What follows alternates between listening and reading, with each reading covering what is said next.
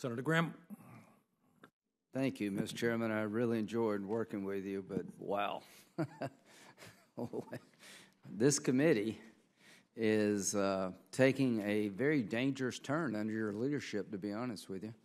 You're singling out a single company because of your political agenda to socialize this country. Every time I turn around, you're having a hearing about anybody that makes money is bad. The government needs to grow beyond our ability to pay for it. And we're going to have an election on your ideas here soon, and I can't wait. As to the process, there's a process in this country. If you feel like uh, the law has been violated in your efforts to unionize uh, the workforce, you can file a complaint. People will have a hearing. There's a process to debar companies who engage in illegal behavior. There is a process. This is a political process here.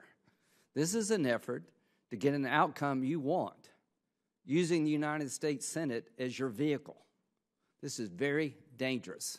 You can have oversight hearings all you like, but you've determined Amazon is a piece of crap company. That's your political bias. They're subject to the laws of the United States. They shouldn't be subject to this. If we get the committee back, we're not going to do this. We're going to talk about how to save Social Security, keep Medicare from becoming insolvent, how to change the structural problems of our debt. I'll talk to you about climate change. What happens if you electrify all the vehicles in the country? What does that mean for power producers? I'd like to work with unions. I've got an uncle who was a vice president of a union, paper mill union, to bring jobs back into America. I'd like to work with companies, uh, unions, and the private sector to become energy independent again.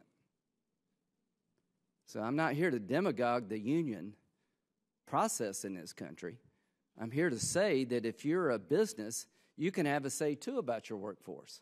The idea that you can only get a government contract if you promise to be neutral is ridiculous.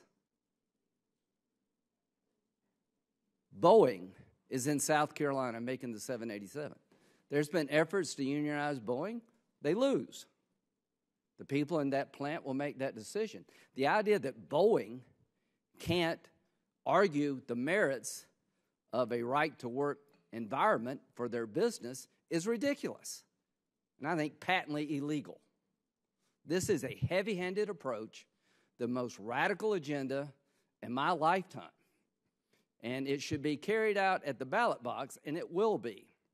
If we take this body back, this demonization of individual companies that are subject to the law will cease.